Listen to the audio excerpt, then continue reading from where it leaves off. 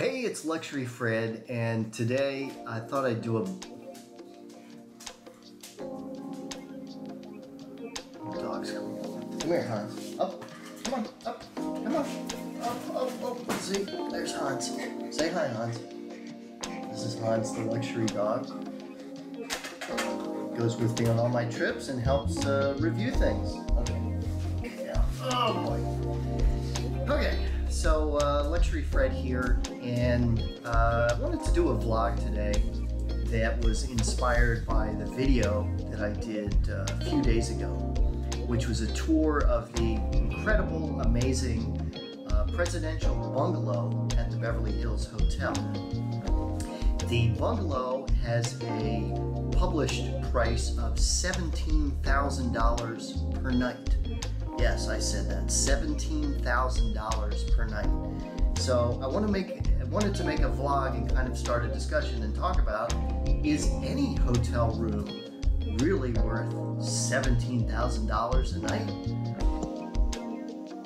And to be clear, this is not a rant against the Beverly Hills Hotel and it's not a rant against extremely expensive hotel rooms or the people that, that pay to stay in them. Um, I just want to talk about how absurd it was or how crazy it was to have a hotel room that is that expensive.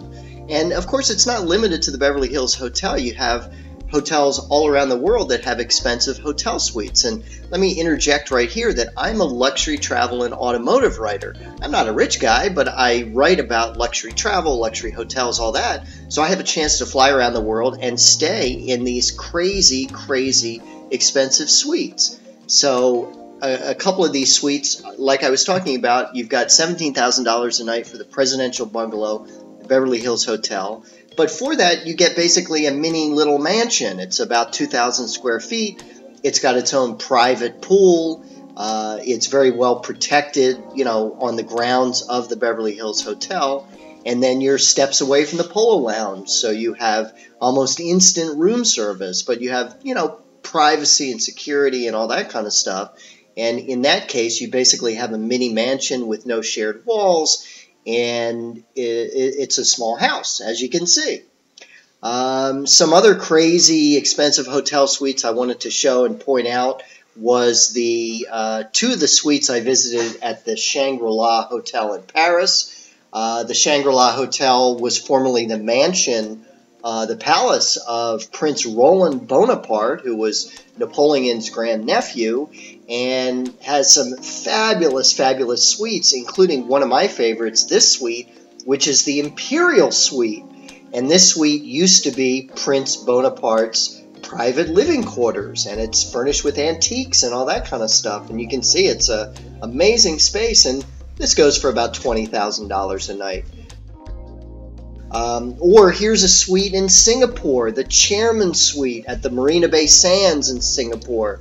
This goes for $50,000 a night, and this is essentially an enormous mansion on top of the Marina Bay Sands. Um, and again, it's just so absurd in that you have expensive hotel rooms separate from these crazy suites you have expensive hotel rooms that maybe are $1,000 a night or something like that, or $1,200 a night. And maybe that's something that people would splurge on. Hey, it's our 50th anniversary and we're going to be in Paris, so I'm going to get us this room at the Shangri-La Paris that's $1,200 a night, but it has these amazing views of the Eiffel Tower. That's reasonable. That's something someone might splurge on. But no one is going to splurge, so to speak, on a hotel room that's fifteen, twenty, twenty-five thousand dollars a night. That's a car for each night. So these rooms are rented by celebrities and billionaires and people that have so much money that that's, you know, to you and I, that's like spending $500 on a hotel room. They, you know, they don't care.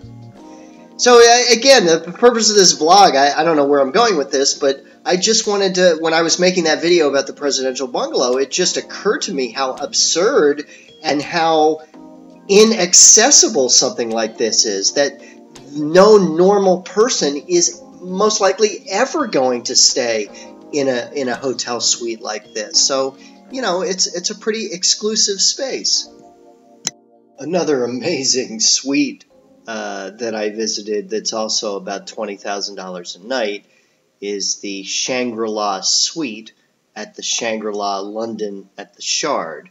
So this is the best suite at that hotel, and it's an amazing space that takes almost takes up almost a full floor with these drop dead jetliner views of London from your private mansion in the sky there. Oh, and uh, of course, I couldn't talk about crazy hotel suites. And and by the way, you see the links up here. You can watch my. I visited all of these suites, and I have video tours on my YouTube channel. You click the link, and you can see the suites that I'm referring to. And I have to mention, in the U.S., one of my favorites in the whole world is the penthouse at the Fairmont in San Francisco. And the penthouse is literally a mansion that was built on top of the hotel. It's an amazing 50,000 square foot space, as you can see, with a Turkish bath and a pool room and all, a library and all kinds of uh, amazing amenities.